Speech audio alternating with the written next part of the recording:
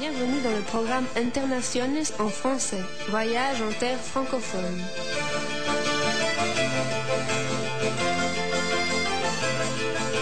Bonsoir. Bienvenue dans notre émission.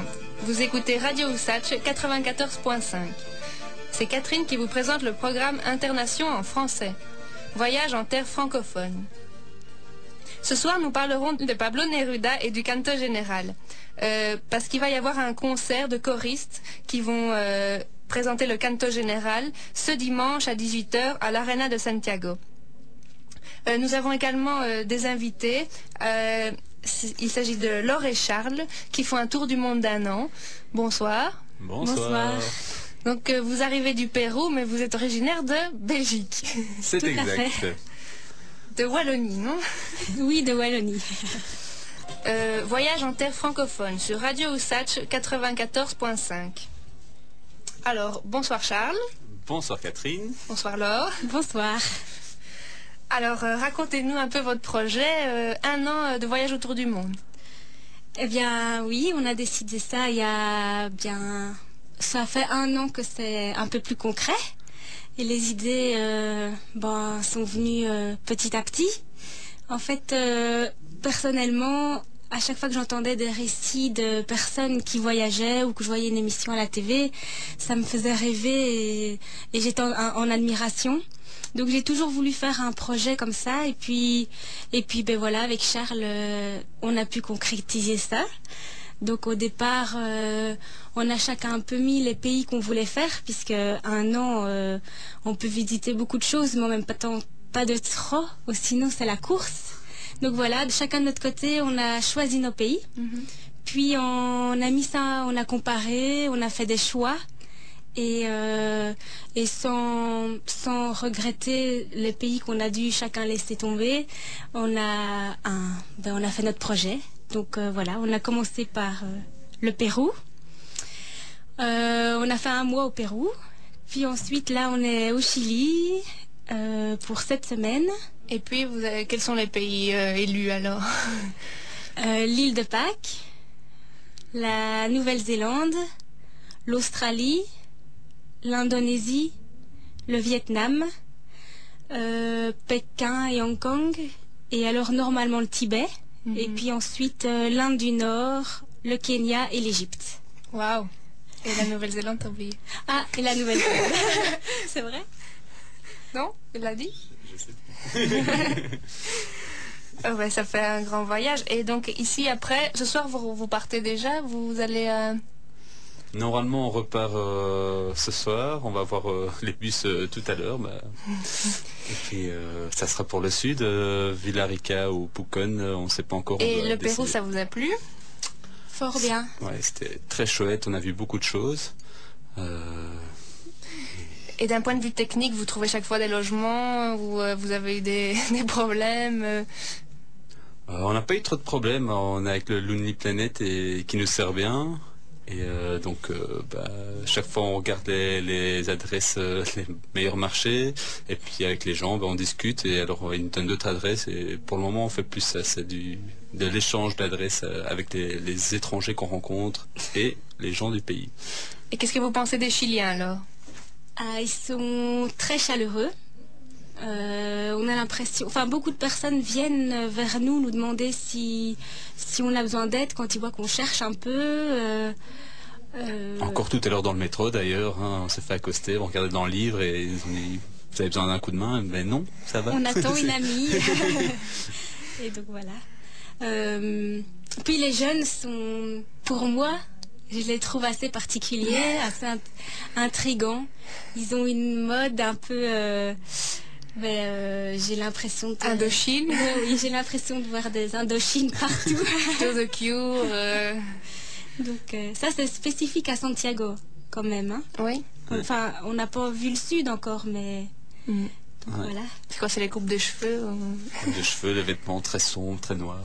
Et puis les jeans euh, vraiment serrés jusqu'au bout des jambes, alors que chez nous c'est l'inverse. On a plutôt, allez, c'est plutôt large en bas. Et... Mm. ça, ça en Espagne c'est plus ou moins la même chose qu'ici. Ils s'habillent de la même façon les jeunes en Espagne. Ah bon? Ah oui? Mm-hmm. Mais tout de suite, on écoute euh, une autre chanson de Michel Berger et on se retrouve tout de suite après. Station Voyage en terre francophone sur Radio Ousatche 94.5. Nous sommes avec Charles et Laure qui font un tour du monde en un an. Partant de Bruxelles et ils font tout le tour. Et donc, euh, où est-ce qu'on en était? Ah oui, euh, au niveau de la nourriture, euh, vous aimez bien euh, la- ce qui se mange par ici? Oui, il y a quelque chose de très particulier. En fait, c'est à chaque fois qu'on rentre dans un restaurant, avant d'avoir le plat, euh, ils amènent un petit pot avec du, du piment et de la tomate, à mon avis, et toujours du pain. Donc c'est un peu comme si on prenait l'apéro avant de passer au plat. Et ça, c'est assez particulier. Euh, Vous avez goûté le completo? On a goûté le completo. Ok, très bon, ok, très bon. Euh, Très lourd, très lourd. Donc euh, la nourriture est différente par rapport à ce qu'on a déjà vu au Pérou. Au Pérou. Ouais. Et c'était bon au Pérou ou... Oui, oui, c'était très bon. C'était très... Du riz, non? Oui, Il y, beaucoup sou- de... il y a toujours deux féculents en fait. Il y a le riz et puis de l'autre côté il y a des patates ou des frites. euh, mais il y a toujours euh, deux, deux féculents différents. Mhm. Plus un morceau de viande euh, ou autre chose. Enfin ça c'est. Ils aiment bien mettre beaucoup de féculents. et souvent, il y a toujours une soupe aussi.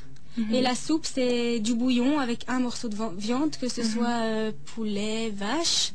Et alors, euh, une patate et hum, du quinoa. Du quinoa, du maïs parfois aussi. Enfin Mhm. ils mettent beaucoup de choses. Donc ça, ça fait beaucoup hein, de Mais manger ici tout je ça. crois que c'est le cassouela. Ça qui ressemble très fort à ça. Mhm. Qui est En très bon. Et donc voilà, il y a aussi le pisco sourd.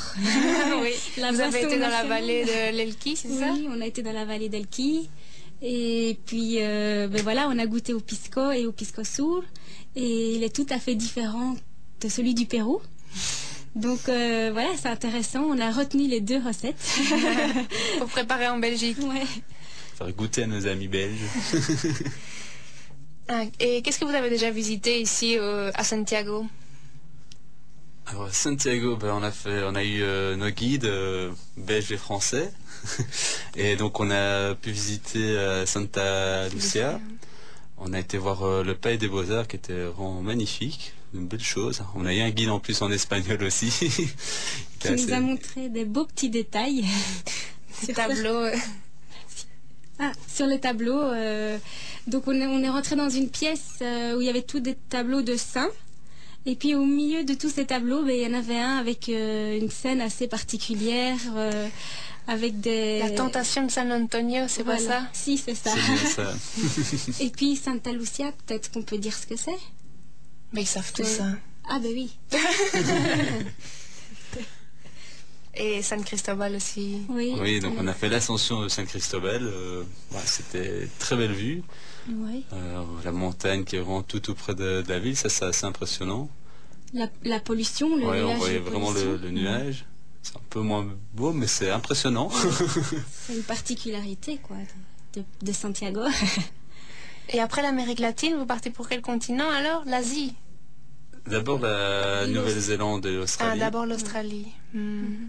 Bon, on fait les fêtes de fin d'année là-bas. Donc euh, Noël en Nouvelle-Zélande et l'année de, le début de l'année 2008 euh, en Australie, à Sydney.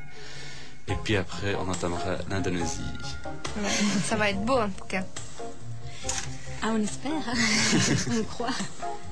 Euh, on écoute un autre extrait musical et je vous dis à la semaine prochaine sur Radio Ousatch.